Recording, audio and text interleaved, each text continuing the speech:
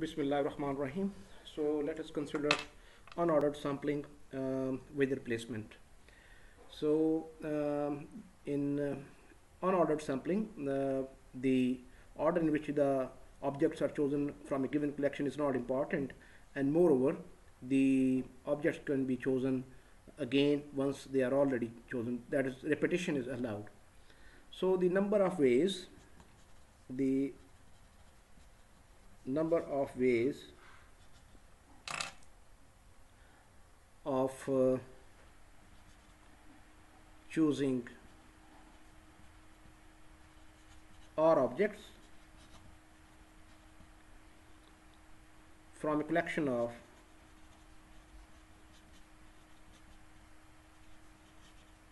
n things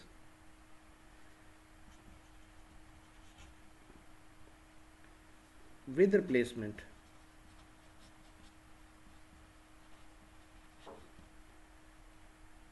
And without ordering. Without considering the order without ordering is given by this formula. N plus r minus 1 taken over at a time right so this can be explained with the help of an example. For example so let's consider this sample space of three letters a b and c. So let us uh, consider the uh, number of ways in which we, we can choose three objects uh, all these three objects uh, using unordered sampling with replacement right? So here uh, in this case n will be 3 r will be 3 so we're choosing all three objects right and uh, using unordered sampling and with replacement.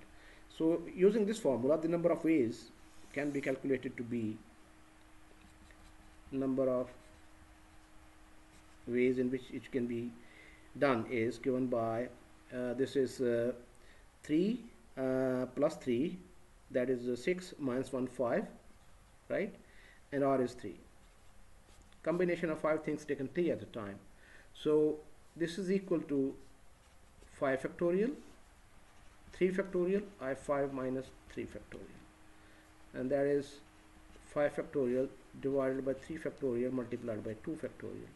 And that is equal to 5 into 4 into 3 factorial divided by 3 factorial and 2 factorial. So this cancels out. And this 2 it gives us 2 here and that is equal to 10 so the number of ways in, in which uh, we can choose uh, three objects uh, using unordered sampling with replacement from this set is 10 so let's try to list them down. So note that the samples are unordered and the repetition is allowed. This is with replacement. So for example a can be chosen three times. A a a. Replacement is allowed. Then we can have a a b right but once we choose a a b uh, then we cannot choose for example a, b a because this is also two a's and a single b and uh, as this is an unordered sampling so this is the same uh, sample as this one right? Similarly we cannot choose b a a b a a this is also the same as this one. So these samples cannot can cannot be chosen now so AAB or in other words these samples are the same as as this sample right? So AAB for example then AAC right?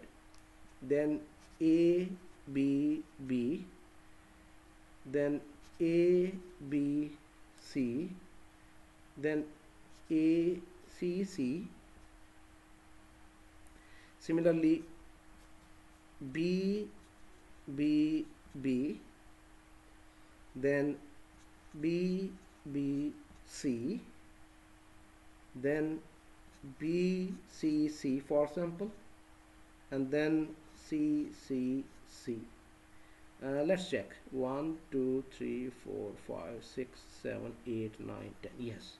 So these are the 10 possible samples that we can choose from this set using unordered sampling with replacement and note that um, any of the sample for example this a b b this has one a and two b's.